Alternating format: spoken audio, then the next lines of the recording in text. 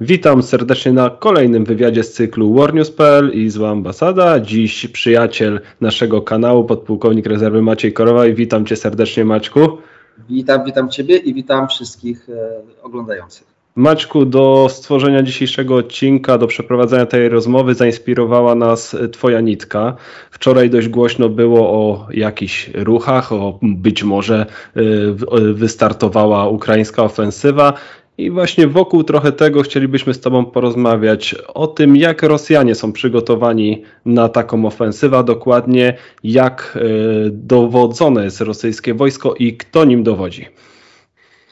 E, jak są przygotowani, to ciężko określić. No chyba nam e, życie niedługo pokaże, w jaki sposób są przygotowani. Na pewno zrobili wszystko, co ich w mocy, żeby mm, się zabezpieczyć przed ukraińską ofensywą.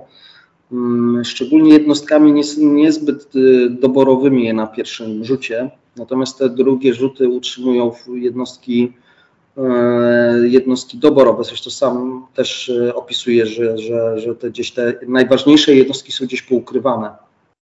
E, I to jest jeśli chodzi o przygotowania samej, samego wojska.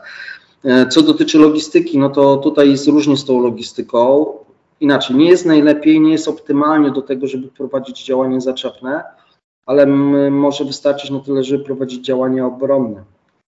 E, może Rosjanie też w jakiś sposób zgromadzili zapasy, żeby ewentualnie przygotować się do przeciwdziałań, jeśli już ta ofensywa ukraińska ruszy pełną parą. Bo teraz, moim zdaniem, to co widzimy i możemy komentować to, co widzimy, to jest efekt takiej przygotow przygotowawczy do działań.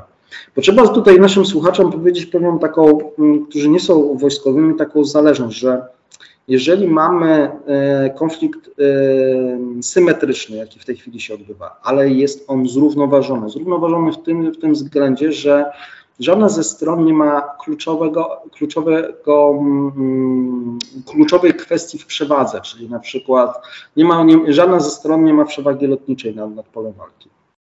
To jest, to jest fakt mimo że Rosjanie mają więcej zasobów, ale nie dominują na tym w powietrzu na tyle, żeby e, lotnictwem degradować pozycje ukraińskie. Druga obszar to dominacja w sile ognia. Mimo, że Rosjanie tych luf i rakiet i wyrzutni mogą mieć więcej, ale sposób prowadzenia tego ognia nie jest efektywny, e, bo gdyż e, E, Ukraińcy mając mniej środków ogniowych, ale nowocześniejszych, rażą o wiele skuteczniej cele, które, które wykrywają.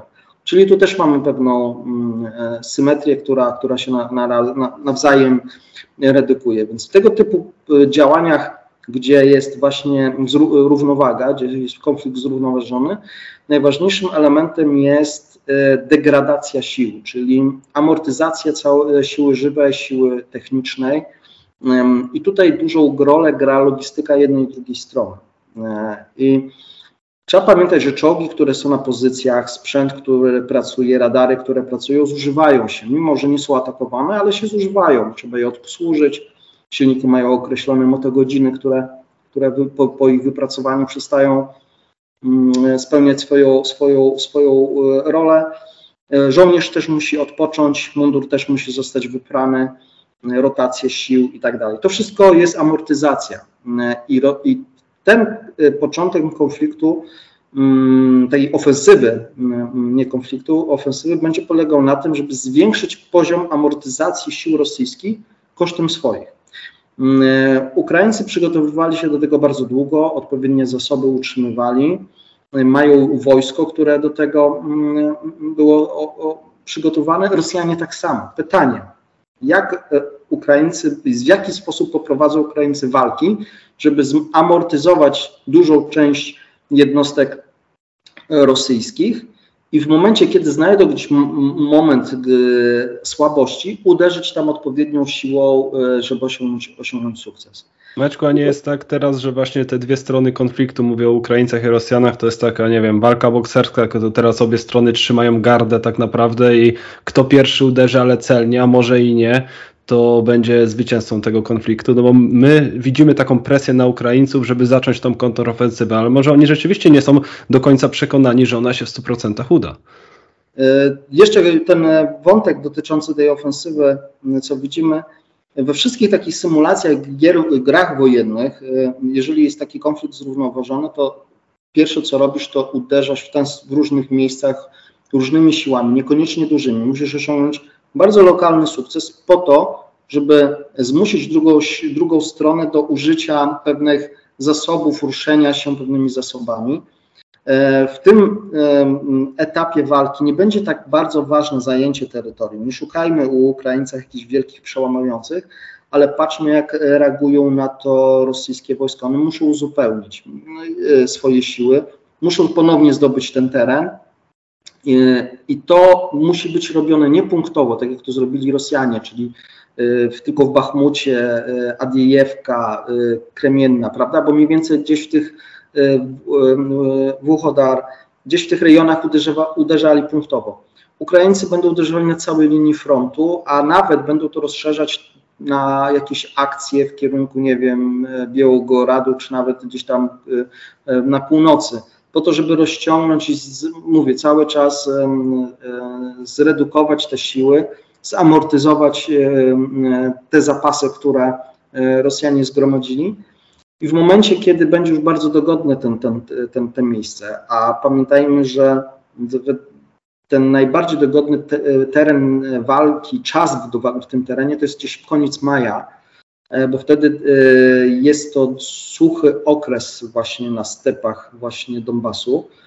E, I wtedy można prowadzić działania jakby z e, większymi zgrupowaniami pancerno-zmechanizowanymi, a to jest niestety wymagane w takim teatrze działań do osiągania sukcesów, bo piechota jest dobra właśnie w Donbasie samym, e, poprzecinanym miastami i fabrykami, natomiast żeby z, pokonać przeciwnika, to jednak jest potrzebny manewr i ogień, a to daje zgrupowanie pancerno-zmechanizowane.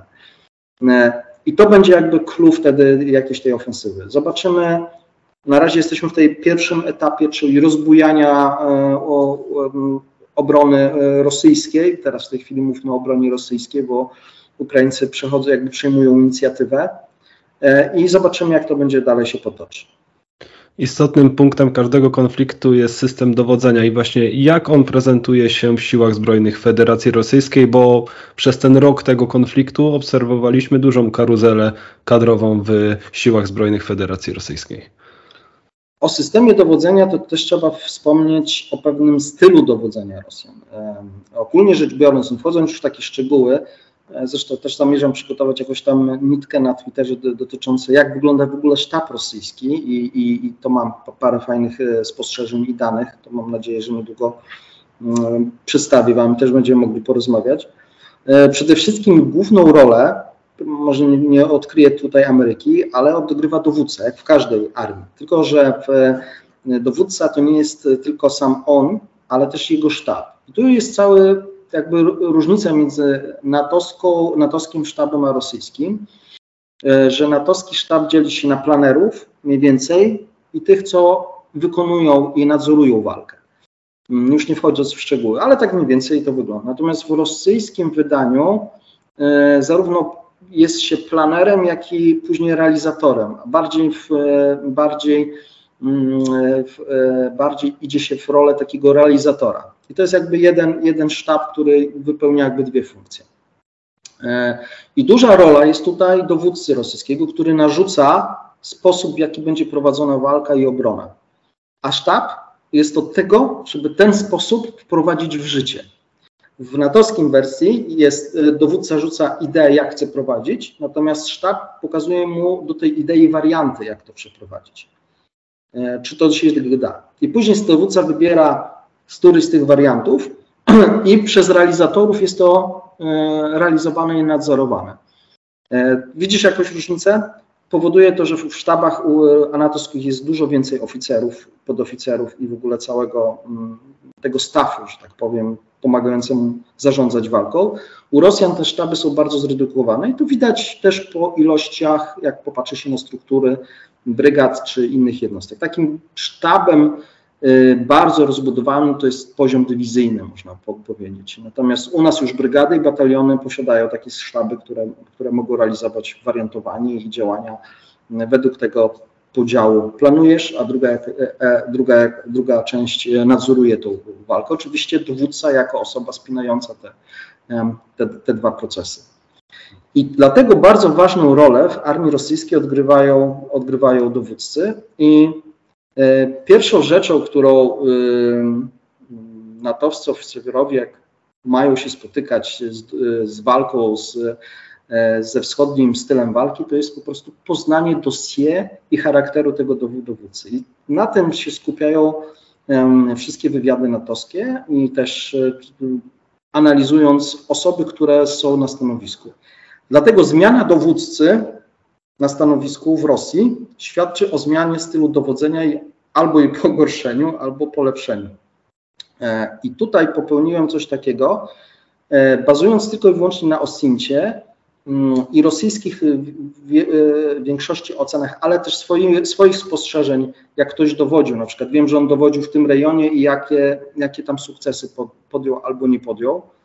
Mm, analizę tych dowódców, które zostało, zostali mm, mianowani przez Gerasimowa, przez Gerasimowa, bo można powiedzieć, że to jest taki w większości team Gerasimowa. To nie, są, e, to nie są dowódcy, którzy zaczynali wojnę. To od razu mówię. To nie są dowódcy, którzy zaczynali wojnę. To nie są, część z nich oczywiście uczestniczyła na różnych poziomach dowodzenia w armii rosyjskiej, ale to nie byli ci dowódcy, którzy dowodzili w tym wymiarze, prowadzili te działania na takim, co wcześniej mówiłem, zasadzie, że odpowiadali za tę walkę. Więc to jest coś nowego, wprowadzonego przez Gerasimowa mm, w, w obawie przed ukraińską ofensywą, ale po to, żeby polepszyć mm, działanie na froncie. Maczku, czyli możemy powiedzieć, że nie wiem, ta, ta karuzela kadrowa, która była e, w armii e, rosyjskiej, ona się też zmieniła właśnie samą postawą, czyli co, wcześniej mieliśmy osoby, oficerów, którzy skupiali się powiedzmy na ruchach ofensywnych, a dzisiaj ten, ten sztab e, wokół Gerasimowa to są właśnie ludzie, którzy w Twojej ocenie, czy może w ocenie analityków będą mieli właśnie tą postawę bardziej defensywną. Wiesz co, to nie, też, nie chodzi też o sposób działania. Ta armia, która wchodziła w wojnę z Ukrainą, to była armia mm, jakby koneksji politycznych i różnych uwarunkowań polityki samego Ministerstwa Obrony Federacji Rosyjskiej.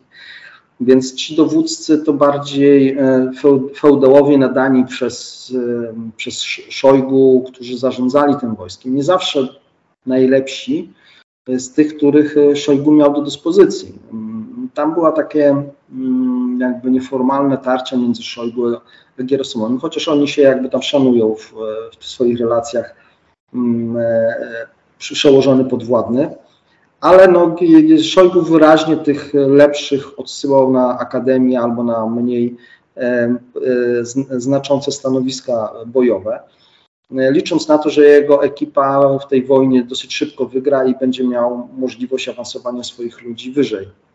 Mm, co się nie udało. Więc e, e, tutaj teraz e, Putin pierwszeństwo do decydowania o tym, kto dowodzi walce, scedował na Gierasimowa, który jako szef sztabu został dowódcą zgrupowania, połączonego zgrupowań wojsk działających w tak zwanej operacji specjalnej na Ukrainie. Do tego oczywiście dobrał sobie ale nie do końca e, tak jak chciał e, e, oficerów w sztabie, ale bardzo dużo ich pościągał z różnych takich stanowisk, które wcześniej Szojgu ich powysyłał jakby w, odsyłając od działań bojowych. I przeprowadziłem charakterystykę tych po prostu do, głównych dowódców na danych kierunkach. No właśnie, kto według Maćka Korowaja się wyróżnia wśród tego sztabu oficerskiego w armii rosyjskiej? E, jeśli chodzi o szczegóły, to zapraszam do mojego tego tweeta, e, tam to opisałem. Natomiast tak, jeżeli chodzi o zastępców Gerasimowa, bo już o samym Gerasimowie rozmawialiśmy wielokrotnie, więc tu nie będziemy jego, jego Oczywiście. ale takim pierwszym zastępcą e, dowódcy połączonych zgrupowań wojsk to jest generał pułkownik Tepliński, e, Michał Jurkiewicz, urodzony 1 września 1969 roku. To jest bardzo, bardzo szanowany dowódca wojsk powietrzno-desantowych, mm, który jeszcze przed działaniami, mm, działaniami na Ukrainie bardzo dużo koncepcji używania jednostek szturmowych mm, wprowadzał. E, on chciał zbudować na przykład e, brygadę artylerii w, w jednostkach powietrzno-desantowych, bo stwierdził, że ten zasób ognia, jaki mają e, piechota szturmowa, jest za mały, więc tej artylerii trzeba mieć więcej w skaczącej szturmowej piechocie rosyjskiej w ramach WDW. On też chciał zabrać z lotnictwa wojsk lądowych część śmigłowców i bezpośrednio przydzielić do jednostek, jednostek powietrzno-desantowych. No jest takim osobą y, w środowisku rosyjskim y, mówiono Bóg dowódca, taki, który jest osobą decyzyjną, jest bardzo, mm, jest bardzo inteligentny i potrafi dowodzić w sposób nie tylko zamordystyczny, albo, ale bardzo, bardziej swoim autorytetem, co nie jest spotykane dosyć, dosyć e, często w, w strukturach rosyjskich. Dlatego go wyróżniam, bo to nie jest jakby e, taki, wiesz, że każdy rosyjski generał mniej więcej tak gotowy. Więc tutaj pierwszy jego zastępca Gerasimowa, e, generał mm, Tepliński. To jest pierwszy. Drugim takim generałem, który bym chciał pod, o nim powiedzieć, to jest dowódca zgrupowania wojsk południe, mm, generał e, pułkownik e, Kuzulew Siergiej Rykiewicz, urodzony 7 stycznia 1967 roku. To jest dowódca weteran. On z Gerasimowem zna się od I i II wojny czeczeńskiej i był dowódcą południowego mm, okręgu wojskowego, ale też dowódcą, wieloletnim dowódcą 58 Armii, która moim zdaniem jest najlepszą armią e, rosyjską. Armia 58 jest częścią właśnie tego południowego okręgu wojskowego, czyli tutaj przypomnę naszym słuchaczom, to jest Kaukaz, tutaj ten teren Gruzja, e, Azerbejdżan, gdzieś tutaj to ten, ten między tym Morzem Azowskim, a tym morzem, przypomnij mi, tym mniejszym. No, e, nie, nie, tam widzisz, geografia się uciek, uciekła mi. No, ważne.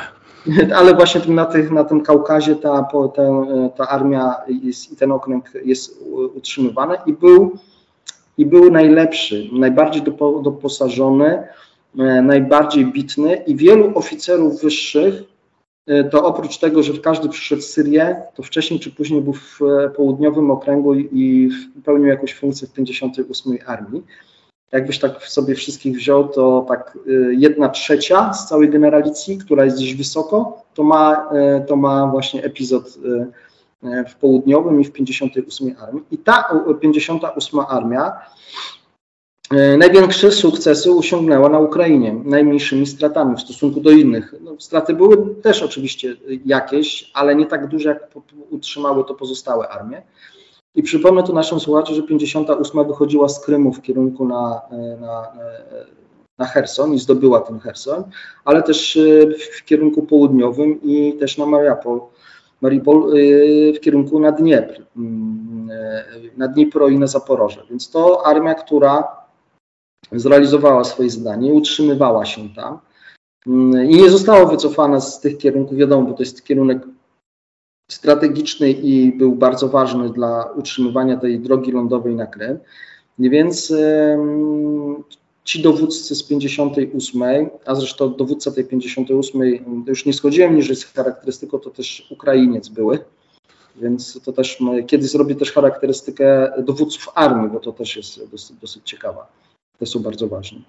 Więc ten dowódca, wracając do tego pułkownika Kuzolewa, to jest y, generała pułkownika, y, to jest weteran tych działań, o bardzo dobrym jakby backgroundzie, jeżeli chodzi o służbę w bardzo ważnym i bojowym okręgu w Armii Federacji Wojskowej, y, w Armii Federacji Rosyjskiej, który nie uczestniczył aktywnie w konflikcie, bo został jakby przez Szojgu wciągnięty do dowodzenia okręgiem, jak pozostałe siły jego walczy, walczyły z jego, z, z jego okręgu na Ukrainie. On nie, brał, nie uczestniczył, natomiast Mm, natomiast Gerasimow go zrobił dowódcą zgrupowania Południe, czyli zgrupowania, które w zasadzie teoretycznie powinno przyjąć najgorsze uderzenie ukraińskiej ofensywy. I on jest takim generałem, weteranem, e, bardzo mm, przez Rosjan chwalony, że się zna na, na tym wojskowym rzemiośle. Niestety mało ktoś pisał, czytałem jego różnych jakichś tam artykułów czy opracowań w rosyjskiej prasie, e, co mi utrudnia jego charakterystykę. Natomiast biorąc pod uwagę jego przebieg kariery i gdzieś się tam krosował z Gerasimowem i uczestniczył w tych walkach, i plus tylko to, co tam mi się udało w Oscincie wyciągnąć na temat wypowiedzi osób, z którym z nim, służyło, wygląda na bardzo takiego dobrego fachowca, który jest bardzo ceniony za swoją właśnie taką, taką, taką dobre rzemiosło wojskowe. I to jest takich dwóch w zasadzie moich faworytów, jeżeli, jeżeli chodzi o, o, o generałów rosyjskich. Oczywiście tam ich wymieniłem mm, kilkunastu, więc trudno mi to. To, to odeślemy y, naszych widzów oczywiście do tej nitki, która jest poniekąd y, powodem naszej dyskusji, ale Maczku, ja na koniec Cię jeszcze muszę zapytać, bo na początku konfliktu i po paru pierwszych miesiącach obserwowaliśmy taką dużą liczbę ukraińskich komunikatów o, yy, o tym, że zginęli duża, du, zginęła duża część kadry oficerskiej właśnie yy, na, na Ukrainie. Jak to wygląda? Czy rzeczywiście te, ta niższa kadra oficerska została tak mocno, powiedzmy, uszczuplona na Ukrainie? No to jest samo przejście. No, w takich walkach i w takich stratach, jak ponoszą niektóre armie, Y, no, tych y, młodszych oficerów i, i średnią kadrę dowódczą, podoficerską, no, straty są zatrważające. W zasadzie powoduje to degradację możliwości armii rosyjskiej, jeżeli chodzi o, o jakość działań taktycznych. Oczywiście nie wszędzie tak samo. Y, niektóre struktury potrafią się odbudować. No, WDW, czyli Wojska Powietrzno-Desantowe, mają jakoś tam mm, i te jakoś tam możliwości też trzeba pamiętać, że ci rezerwiści z wojsk powietrzno-desantowych to też inny rodzaj rezerwistów niż z pozostałych części armii. Oni się świętują, oni trzymają, oni mają swój klub, oni żyją e, życiem tej jednostki, w której służyli, więc powrót tych rezerwistów z powrotem na łono jednostki przejęcia jakby odpowiedzialności za jej dowodzenie będzie dosyć szybkie. WDW się dosyć szybko będzie odbudowywało jeżeli chodzi o tą kadrę średnią. Natomiast pozostała część armii rosyjskiej cierpi, bardzo mocno cierpi na, na brak tych, tych, tych, tej kadry, co widać na, na froncie i co to też daje e, Ukraińcom szansę do pewnego właśnie degradacji możliwości dalszej e, Rosjan, Rosjan, bo Rosjanie z tymi doborowymi jednostkami dobrze przygotowanymi nie mogą być wszędzie. Ja oceniam, że takimi dobr, dobrymi jednostkami mogą nasycić maksymalnie 30% frontu. Więc gdzieś te 70% daje możliwości Ukraińcom, żeby, e, e, żeby, żeby znaleźć te słabe punkty w, w obronie rosyjskiej. Wiesz co, bo ja jak oglądam czasem y, materiały, które nawet udostępnia Ministerstwo Obrony Federacji Rosyjskiej, choćby z jakichś szkoleń, no to nie wygląda to, no powiedzmy, dość profesjonalnie, porównując to z materiałami, które mamy choćby y, ze szkoleń sił ukraińskich na Zachodzie. No to to jest przepaść ogromna przynajmniej. Tak, tak tam nie było takiej kultury szkolenia w Rosji, jak nam się wydaje na Zachodzie. No, poza może jednostkami powietrzno-desantowymi no piechota morska też nie zawsze, bo te brygady piechoty morskiej też były różnie szkolone. E, niektóre lepiej, niektóre gorzej. Natomiast WDW utrzymywało jakby tam poziom tej, tej, tego szkolenia. No to mówiłem, natomiast zupełnie troszeczkę inna specyfika i podejście, podejście ludzi. E, ale ogólnie takiej e, szarości tej armii rosyjskiej to szkolenie nie jest dobre, a jeszcze jest teraz bardziej pogorszone z tym, z tym że Rosjanie musieli część instruktorów rzucić jako uzupełnienie do tych strat, które ponieśli w pierwszej, pierwszej części konfliktu. No to o tym nie pomyślałem, no ale rzeczywiście. E, a i teraz, żeby e, odtworzyć cały system szkolenia, powołali rezerwistów, którzy szkolą żołnierzy, którzy nigdy nie byli w wojsku. Tak jakby głuchy uczył ślepego, więc, więc pewne złe nawyki albo złe rzeczy są powielane już na później widać to na polu walki. Sami Rosjanie piszą w telegramach i w różnych opracowaniach, że bardzo często to dochodzi do tego, że żołnierze, specjaliści, którzy mieli być specjalistami, nie wiedzą, do czego pokrętła w niektórych urządzeniach skomplikowanych wojskowych, e, do czego służą, tak? Że muszą się dopiero uczyć od ko kolegi, który już jest na froncie, a on musi zejść ze stanowiska, żeby odpocząć, a później na, na, na jego stanowisko przychodzi osoba, która się nie zna, więc to są takie, to są takie problemy rosyjskie, oby ich więcej, ale, on, ale takie są. No. Tu, tu mówię, ja bardziej patrzę czasami na szklankę, że jest do połowy pełna niż pusta, bo od tego jestem jako analityk, który szuka e, tych dobrych stron u przeciwnika, żeby się na te dobre strony przygotować. Natomiast tam jest dużo, dużo takich błędów e, szkoleniowych, które są powielane. Jedynym obszarem, gdzie jest dobry, to są ci żołnierze, którzy jadą na Białoruś do szkolenia się. Gdzie tam około 80 tysięcy żołnierzy jest tam Dobrze, że o tym powiedziałeś. Czy ty masz jakąś wiedzę? Pamiętasz, nie wiem, to był miesiąc? No może trochę więcej. Była taka też e, zabawna wiadomość o e, dowódcy właśnie tych, e, tego zgrupowania na, na, na Białorusi, że tam jakieś wesołe zdjęcia wy, wy ten. Kto to jest? Słuchaj, no to był dowódca tego kontyngentu który, szkoleniowego, który się mm, jakby dowodził tym, tym, więc tam jest bardzo przyjemnie. Białoruś jest, nie, jest, nie jest Ukrainą, tam na nich pociski nie spadają, więc chłopaki się dobrze bawią i się szkolą. Ale wiesz co, nawet pomijając tego dowódcy, tam trzeba pamiętać, że Rosjanie na przykład do szkolenia na Białoruś wysyłają lepszych żołnierzy, a sobie tych gorszych zostawiają u siebie szybko szkolą, wpychają do jednostek i wysyłają na front jako mięso armatnie, że tak powiem. Natomiast do odtwarzania tych głównych jednostek, y, gdzie są dobrze białoruscy instruktorowie, gdzie jest dobra baza materiałowa i baza szkoleniowa, czyli poligony, y, pasy taktyczne, sprzęt, y, sale wykładowe czy pomoce dydaktyczne do wojska, to jest bardzo potrzebne w całym procesie bo Rosjanie sami piszą, że mają problemy, jeżeli chodzi o pomoc, nie, nie tylko instruktorów, ale też miejsca i pomoce dydaktyczne do szkolenia. Natomiast Rosjanie mają bardzo dobrą bazę e, do, do tego prowadzenia, ale też nie jest ta baza nie przyjmie tak dużo, ile potrzeba. No tam mówię, no to do 10 tysięcy ludzi mogą e, w procesie jednym szkolić. I tam Rosjanie wysyłają te, e, tych, tych, tych najlepszych, natomiast sami się zajmują właśnie szkoleniem tych, tych, tych najgorszych. E, także tutaj jest bardzo duże kolego rozwarstwienie, jeżeli chodzi o poziom wyszkolenia. Mm, e, jeśli powiem, że są słabo wyszkoleni, nie powiem, nie powiem źle, ale jeśli powiem, że też są dobrze wyszkoleni, to też się tacy znajdują. E, jaki to jest mniej więcej procent? Tak jak mówiłem, mniej więcej 70 do 30 na, na korzyść tych źle wyszkolonych i, i znaczy niewydajnie wyszkolonych i niedoszkolonych, można też tak powiedzieć. Natomiast te 30% to i tak jest dużo w stosunku do sił, jakie ma Ukraina i też oni, Ukraińcy biorą to pod uwagę. Więc takim ważnym elementem jest, żeby te 30% rozłożyć na te 70, wtedy już nie będzie miało takiego, takiego znaczenia.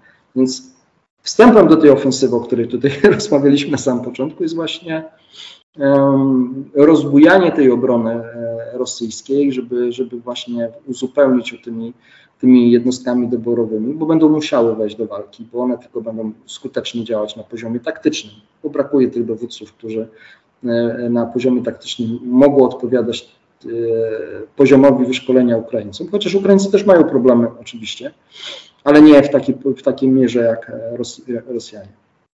Także to, tak na koniec, czy ty pro, proporcjonalnie możesz nam też powiedzieć, czy powiedzmy ilość e, jednostek doborowych rosyjskich na froncie ukraińskim, a takich właśnie mobików, tak, czy tak, tych więźniów, to też jest 70 do 30? Tak, tak, tak Rosjanie piszą, przynajmniej tak. E, bo wiesz, bo jak ja słyszę, że 10 tysięcy więźniów w samym kwietniu zostało powołanych, gdzieś tam podają media, no to to jest duża ilość, tak? Czyli mamy co, no biorą chłopaka z celi, dają mu karabin, tam powiedzmy dwa tygodnie, trzy tygodnie. Ale to nie jest żołnierz, który wysyłany jest na przykład na Białoruś do szkolenia, Okej. Okay.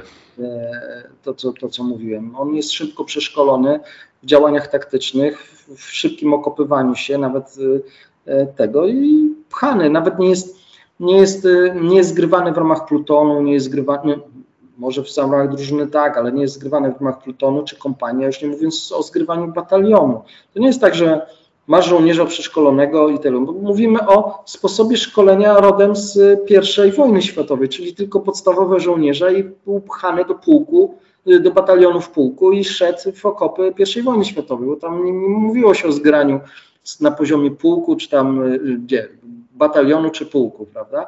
W współczesnym, współczesnej wojnie bardzo duże ma znaczenie zgranie całego systemu, czyli jesteś jako żołnierz elementem systemu i musisz wiedzieć, jaką rolę w niej odgrywasz. Tego nie wyszkolisz w kilka tygodni.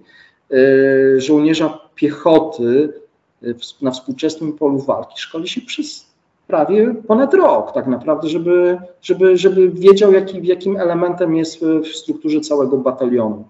E, bo tak to trzeba, bo tak, tak to trzeba odbierać. No. Wiesz, my wczoraj z Maćkiem Lisowskim się śmialiśmy, że być może niedługo to będziemy mieli takie sceny w Rosji jak z tego z filmu w Ruku Bram, czyli wiesz, dwóch biegnie, jeden karabin, drugi że to zaczyna iść trochę w tą stronę chyba, przynajmniej no tak, nawet. Tak, to, to, tak jak mówiłem, no to są elementy, które też Rosjanie wykorzystują, bo oni nie mają innego wyjścia, bo nie mają ani systemu, no rozwalili swój system szkoleniowy, białoruski ok, ale się nie nadaje, żeby wszystkie, wszystko uzupełnić, więc oni też tam sobie wysyłają tych najlepszych. Oczywiście część tych najlepszych też szkolą na swoim terenie, ale tych bardziej, mniej e, ważnych to tylko doszkalają, żeby postrzelali kilkoma pociskami i naprzód. Resztę, resztę jak jak Bóg da i przeżyje, to się nauczysz, jak nie, no to trudno. Czy, czyli popieramy tezę y, wczorajszą postawioną przez dziennikarzy polityki, Polityko, przepraszam, o tym, że rosyjska armia nie miała planu B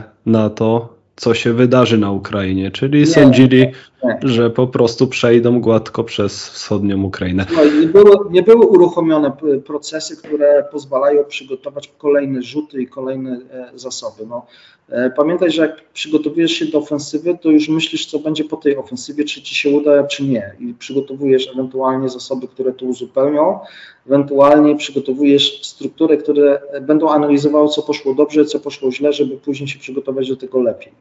Y, to Rosjanie zrobili. Na przykład na, na poziomie szefów sztabów, y, szefa sztabu generalnego Gierasimowa działa komórka, która to analizuje i zbiera i wypuszcza instrukcje nowe. Nawet jedna była ukaza, ukazała się dotycząca działań szturmowych, batalionów szturmowych, co też wielu z nas komentowało i, i, o, tym, o tym rozmawiało. Ale tam są inne spe, specyficzne dokumenty wysyłane, one są, nie są już tak jawne, ale są też niekiedy dostępne dotyczące działań artylerii. Ja to wykorzystałem do analizy dotyczącej systemu rażenia ogniowego. Też opublikowałam część mojej analizy na ten temat.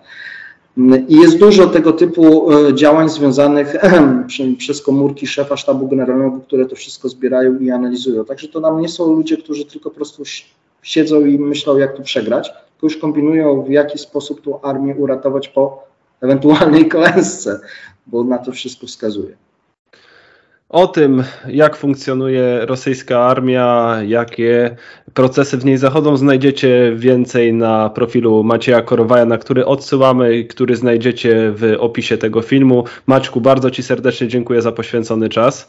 Ja też dziękuję, mam nadzieję, że nie zagadałem naszych tutaj oglądających. Oczywiście, że nie. Państwa oczywiście zachęcamy do subskrybowania naszego kanału i dania kciuka w górę. Dziękujemy.